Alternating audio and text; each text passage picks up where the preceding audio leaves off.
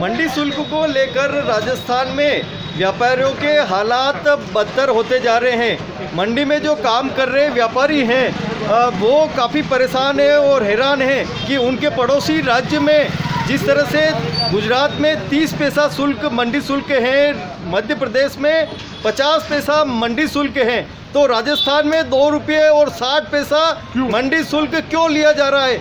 मुख्यमंत्री जी सुने व्यापारियों की और उस पर नीतिगत निर्णय ले ताकि व्यापारी आसानी से व्यापार कर सके और आम जन का भला हो सके। राजस्थान के कृषि मंडी, व्यापारियों में भारी रोष हैं और वे इन दिनों खासे परेशान भी हैं। केंद्र सरकार के कृषि बिलों में किसानों को अपनी मर्ज़ी के हिसाब से अपना अनाज बेचने की छूट देने के बाद कृषि मंडी व्यापारियों में भारी रोष हो गया है।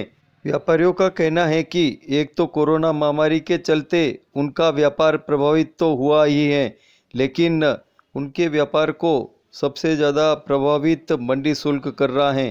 पड़ोसी राज्यों में, गुजरात में जहाँ 30 पैसे और मध्य प्रदेश में जहाँ 50 पैसे मंडी शुल्क लिया जा रहा है, वही राजस्थान में दो रुपये साठ पैसे होने की वजह से किसान अब मंडी से मुख मोड़ रहे हैं और ऐसा ही चलता रहा तो राजस्थान की मंडियों में व्यापार ठप हो जाएगा। क्या कहना है व्यापारियों का? आप जी बताएँ, क्या कहना है आपका? जय हिंद साथियों। हाँ। मेरा माननीय मुख्यमंत्री श्री अशोक जी गहलोत से निवेदन है हम्म, राजस्थान में कृषि शुल्क और किसान विकास शुल्क बहुत ज़्यादा है। हम्म। समकक्ष मंडियों और राज्यों को देखते हुए हम्म। माननीय मुख्यमंत्री से निवेदन है कि आप उचित कार्रवाई करके इस पे पचास पैसा या उचित जो भी उचित लगे वो शुल्क लगावे। मंडियों को यथास्थिति ज़िंदा रखने के लिए यथाशीघ्र इस पर निर्णय लेवे, जिससे व्यापारियों को, आम जनता को, उद्योगपतियों को, सबको राज्य, फ़ायदा हो और स्थानीय उद्योग और स्थानीय फैक्ट्रियाँ बाहर नहीं जा रहे। गुजरात के अंदर इसके ऊपर पचास, बीस पैसा है, तीस पैसा है, और अभी यथा स्थिति में एमपी सरकार ने इसको पचास पैसा किया है। हमारा माननीय मुख्यमंत्री महोदय से निवेदन है यथा बहुत जल्दी इस पर फैसला करें और व्यापारियों को और जनता को राहत प्रदान करें, जिससे हमारा राज्य पिछड़ा हुआ- बहुत ही गरीब राज्य है जो अच्छा आगे बढ़ सके और व्यापार और लोगों को रोज़गार मिल सके। बहुत बहुत धन्यवाद।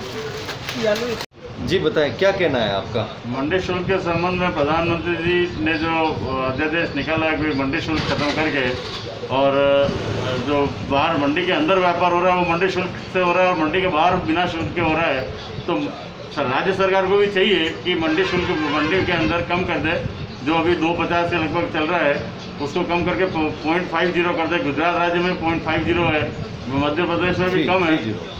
गुजरात में सॉरी गुजरात में पॉइंट थ्री ज़ीरो है, तीस पैसा शुल्क है एमपी में पचास पैसा शुल्क है तो राजस्थान में भी पचास पैसा शुल्क कर दे तो व्यापार चलता रहेगा, नहीं तो व्यापारियों के लिए बड़ी दिक्कत हो जाएगी, व्यापार सारा चौपट हो जाएगा, व्यापारियों को मंडी छोड़नी पड़ेगी। तो हमारी तो यही है, राज्य सरकार से विनती है और कहते हैं, प्रार्थना है कि वो एक बार यहाँ शुल्क कम करे तो थोड़ा सा व्यापार चलता रहे और मंडी भी चलती रहेगी। जी, बताएँ।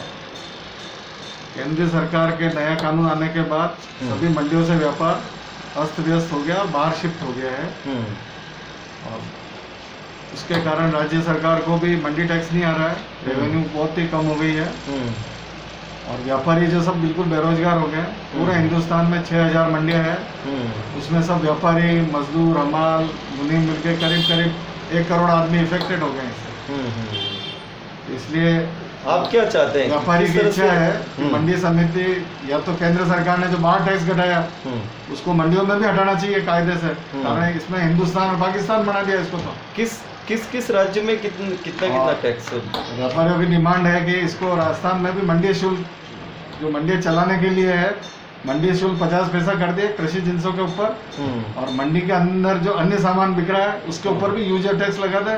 प्रधानमंत्री का जो घरेलू राज्य है गुजरात उसमें क्या स्थिति और यहाँ पे क्या स्थिति? गुजरात में पॉइंट तीस पैसा है हाँ। मंडी शुल्क। हम्म। अभी वर्तमान में अपने नियरेस्ट स्टेट एमपी ने भी पचास पैसा कर दिया है। हम्म, हम्म, साउथ में तमिलनाडु कर्नाटक उन्होंने भी पचास पैसा कर दिया है। हम्म, हम्म, अपने यहाँ का व्यापार या तो नीमच जा रहा है गुजरात जा रहा है राजस्थान का सब व्यापार हम्म। टोटल वहाँ चला गया जिससे अल्टीमेट इंडस्ट्री भी वहाँ की चलेगी। हम्म, और इस कानून से न तो व्यापारी को फ़ायदा हो रहा है न किसान को फ़ायदा हो रहा है।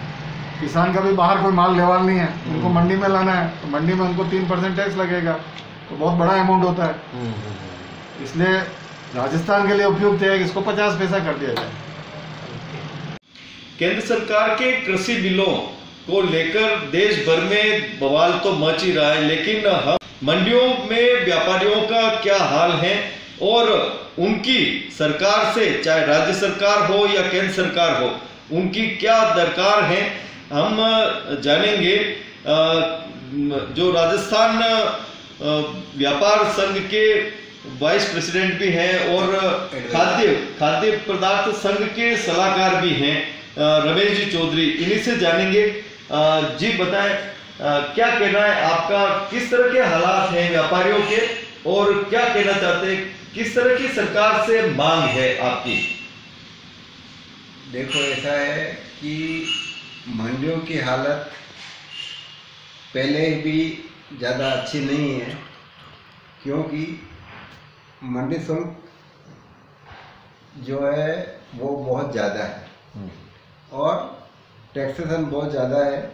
इसके लिए क्योंकि इस केंद्र सरकार के नए कानून से वो परिस्थितियाँ बदल गई है और व्यापारी बाहर व्यापार जो करेगा उस पर कोई टैक्स नहीं लगेगा।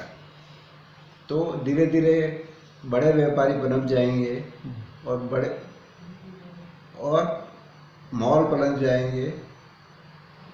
मंडियों में माल आना कम हो जाएगा क्योंकि डायरेक्ट खरीद वहीं से हो जाएगी खेत से हो जाएगी इस कारण से। और कॉन्ट्रैक्ट फ़ार्मिंग जो है वो सिस्टम शुरू हो जाएगा। तो क्या होगा कि फिर माल जो है मंडियों में नहीं आएगा। और मंडियों में नहीं आया और कॉम्पिटिटिवनेस नहीं रही तो जो है वो मंडियाँ धीरे धीरे जो है बर्बाद हो जाएगी।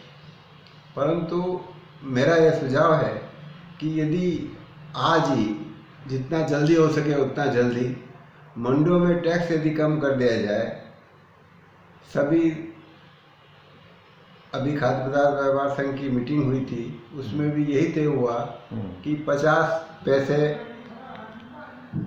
मनी टैक्स कर दिया जाए और सभी चीज़ों पे लगा दिया जाए।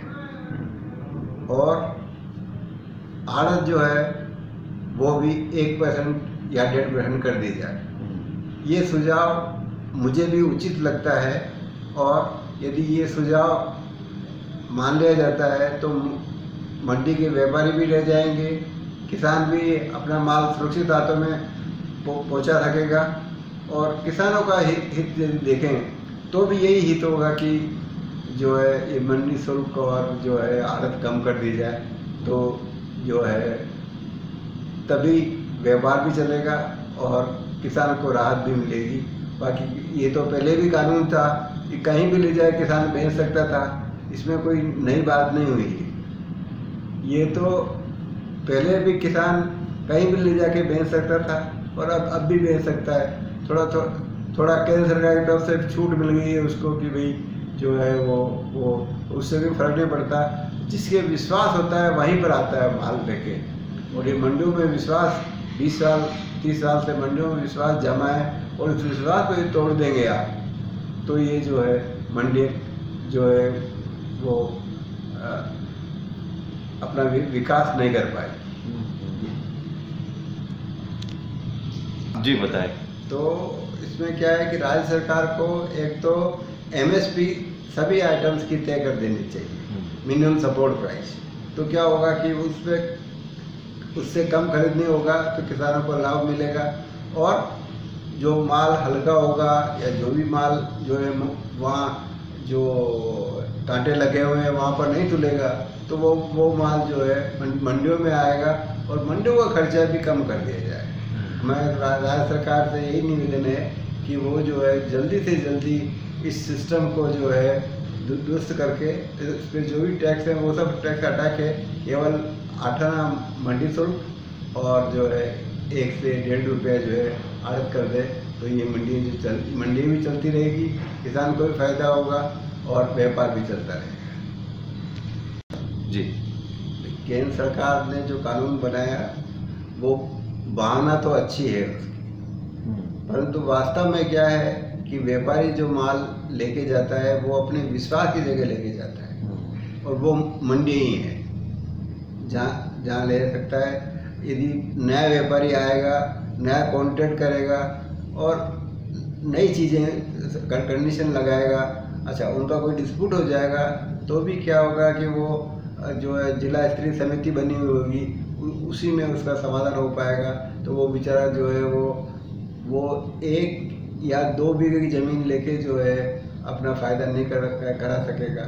इसलिए मेरा तो अच्छा दूसरा क्या है कि केंद्रीय कानून में जो अपने क्या नाम आवश्यक वस्तु अधिनियम को ख़त्म किया गया है ये बहुत बढ़िया बढ़िया शुरुआत है। आवश्यक वस्तु अधिनियम का दुरुपयोग होता था और बड़े व्यापारी तो बच जाते थे छोटे व्यापारी फंसते थे इसलिए बहुत अच्छा जो है ये स्टेप जो है गवर्नमेंट का सेंट्रल गवर्नमेंट का है। इसमें तो अ, हम लोग भी सहमत हैं कि आवश्यक वस्तु अधिनियम को खत्म कर दिया जाए। हम्म। और जिस सरकार ने लाल सरकार अभी कानून लाई नहीं हम्म, अभी लाएगी हम्म। तो यदि उसमें एमएसपी सपोर्ट प्राइस जो है वो आ, सभी चीज़ों की तय कर दी जाए जैसे केरल केरल सरकार ने की है हम्म। और मन शुल्क और आड़त कम कर दी जाए तो हम्म। व्यापार भी चलता रहेगा और मंडियाँ भी चलेगी और सभी लोग खुशहाल रहेंगे मुख्यमंत्री को एक जादूगर के रूप में माना जाता है। कई सेक्टरों में उन्होंने राहत दी है तो आपको क्या लगता है? हमें आशा है कि वो ऐसा ही करेंगे हम्म। और जल्दी ही इसके निर्णय होगा।